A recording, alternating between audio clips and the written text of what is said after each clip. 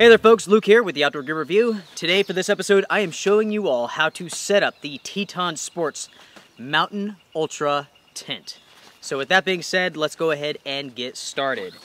Now you may be wondering, Luke, what about the ground sheet? Usually I put that down first. Well, in this case, this tent actually comes with one. So it's inside of the package. Here's the tent itself, all ready to go. Undo the compression straps. The first thing that you will start with is the ground sheet. Then you are going to move to the body of the tent and then pull that right over the footprint. Now this is a freestanding tent and because it's not very windy right now, I'm going to move on to the poles. If it was a windy day, I would go ahead and stake this out.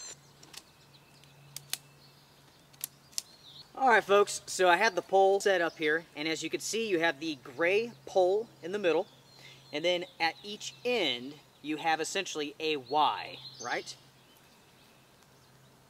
This is very, very simple to do, so I'm going to take the pole and I'm going to lay it down over the body of the tent, and I'm going to start with the poles at the very bottom, right? So I'm to shove them through the grommet of the body, and I'm going to shove them through the grommet on the ground sheet.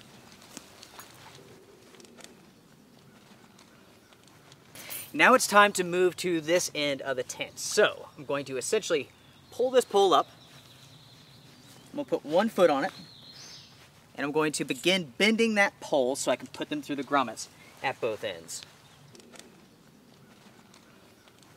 So folks, as you can see here, the poles have been attached to both ends. Now it's time to connect the body to the poles. And for this, it's very simple. You have these clips which go right over the poles themselves. When I'm doing this, I like to do two or three on one side and then go to the other side and connect two or three. Here's a close-up of one of these clips. It essentially just goes over the pole and clips on. The next step here is to take this gray center pole and attach it. You have grommets on both sides. Go ahead and pull it tight and lock it into place. And just like that, the poles are done. Now it's time to go ahead and just kind of pull this out and make some adjustments so that the floor is fully stretched out.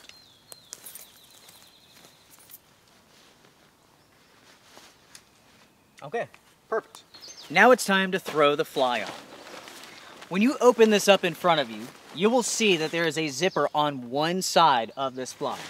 There's also a zippered entrance on one side of this tent. So make sure that your zipper on the fly matches the same side on the tent throw it over the body.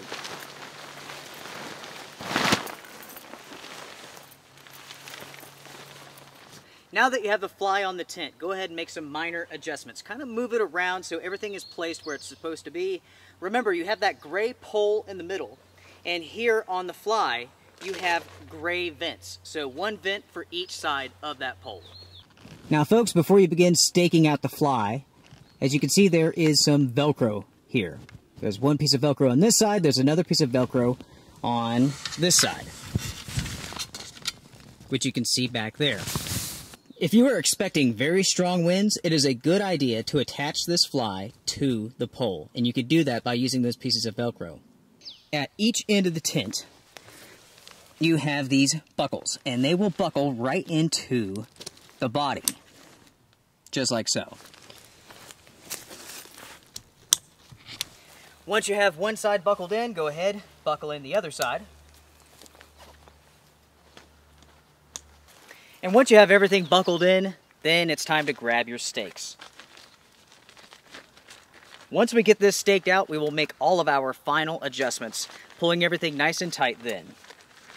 I'm going to start right here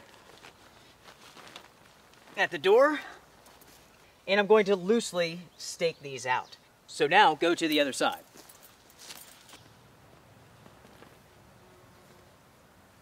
All right. Loosely done. We'll come back and make adjustments in just a moment. Now I'm going to go around the body of the tent, stake it out, and then pull everything tight. Here at each of these buckles, you can pull them tight.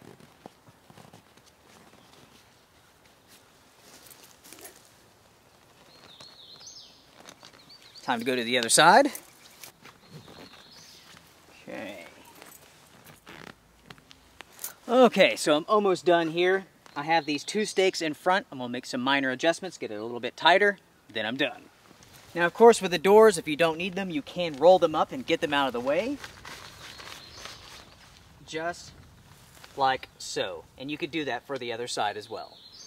Now folks, it is my recommendation with this tent that you at least stake it out in the four corners. This tent has a very high profile, so the wind can blow through, catch it, and you will notice that it has a tendency to pull it over. So make sure to stake it out nice and good. Make sure that it's nice and secure. So folks, there you have it. That is how you set up the Teton Sports Mountain Ultra 1 tent. It's a great tent, very inexpensive, very good quality. Also, it's very easy to set up. Thank you guys for watching this episode. Until next time, strength and honor, be well.